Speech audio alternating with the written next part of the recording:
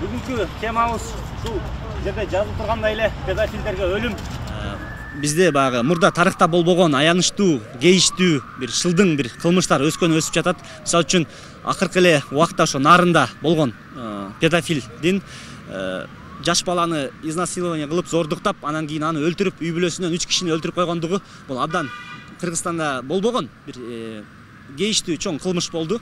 Коомчулукта эгер бир кылмыш болсо ошол нерсени кайдыгер карап унчукпай отура берсең эл дагы көнүп калат экен да. Мурда мисалы үчүн бир кишини өлтүрүп койсо же бир аялды зордуктап койсо кокуй бир аялды зордуктап койтур деп аябай кейиштүү болчу эле да. Азыркы учурда жаш баланы төрт жашар баланы дагы зордуктап койсо дагы кыргызстан баягы эл кулагы жумшап ошого көнүп калды да. Бул нерсеге деп эле баягы бир таасирдүү реакция бербей атат да биз ошо мораторийди конституциядан алып бул ушундай оор кылмыштарга алып өлүм жазасын киргизүүнү талап кылабыз.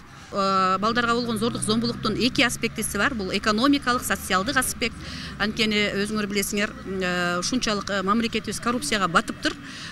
Биздин ишенип шайлаган эл өкүлдөрүбүз анын ичинде өкмөт мүчөлөрүбүз анын ичинде ушул эле чиновниктерибиз эбегейсиз акчаларды уурдап элибиз ушул кыргызстандай суусу бар баардык мүмкүнчүлүгү бар потенциалы абдан зор өлкөдө миграцияга кетүүгө мажбур болуп атат да. Анан ошол миграцияга кетип атканда биз кайра эле элибизди күнөөлөп атабыз миграцияга кетпей эле койбойбу баласын таштабай эле койбойбу деп кандайдыр бир келесоо сөздөрдү айтып атабыз да.